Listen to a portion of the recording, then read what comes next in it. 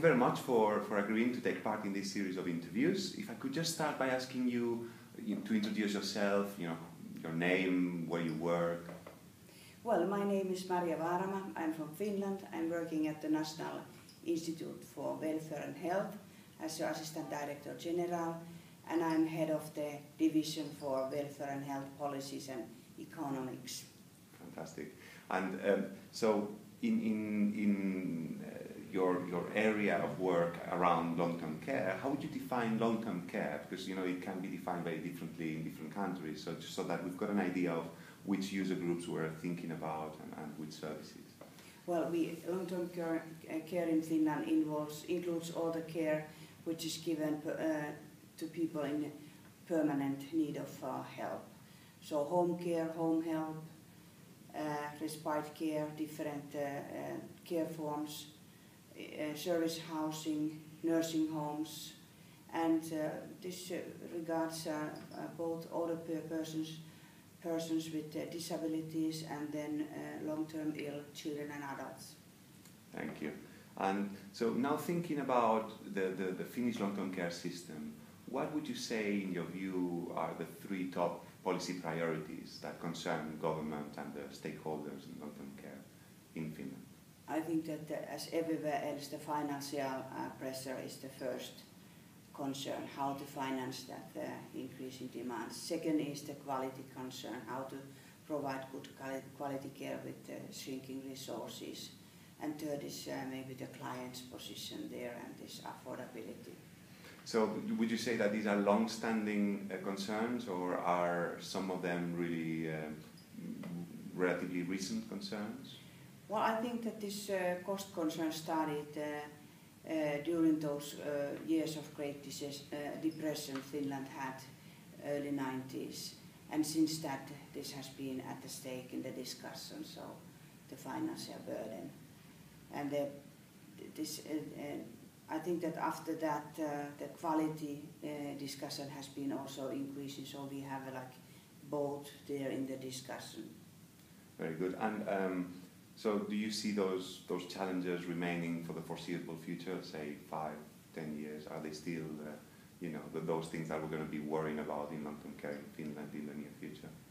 I think that they they will be remain the worry, but a lot is also done for that, and there are a lot of uh, changes in the whole care system and ways of providing care, introducing the quality programs and, and supporting people more and more living at home and in their own communities.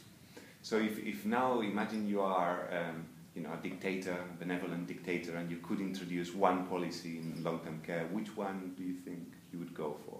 Supporting people living at home, so changing the whole uh, housing policy so that it makes uh, barrier-free environments and housing and, and bringing the services and care there. Okay, so you, it's partly about changing housing regulations and partly about uh, increasing, focusing services in the community. Yeah, I think that it's uh, uh, taking the concept of uh, ambient assisted living seriously. That is the integrated care and barrier and barrier-free environments and and this way. Great. And so now that was in terms of policy priorities, but from a research point of view, which in your view are those questions or that question that you would like, you know, to answer from a research point of view? What's the outstanding piece of research that needs to be done in order to help the long-term care funding, uh, long-term care Finnish system move forward? I think that the basic issue is because we talk about the efficiency gap. I think that the researchers has a big challenge of developing a proper efficiency measures, so proper outcome measures and, and, and, proper, they, must, be related to quality of life of the, of the client, of the other persons and the families. Thank you very much. So now I'm going to ask you five uh, quick questions. Uh, and basically what I'm asking you is to rate on a scale from 1, which would be the worst, to 10, the, the, the best. Um, your views on, on, for example, how much of a policy priority is long-term care in, in Finland? At this moment, hot topic, really hot topic. We are getting a new legislation, uh, a municipal election is coming. It's a hot topic.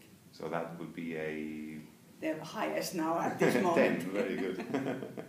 um, well, in your view, people in, in, in Finland, are they aware of what the long-term care system can offer them and people with long-term care needs?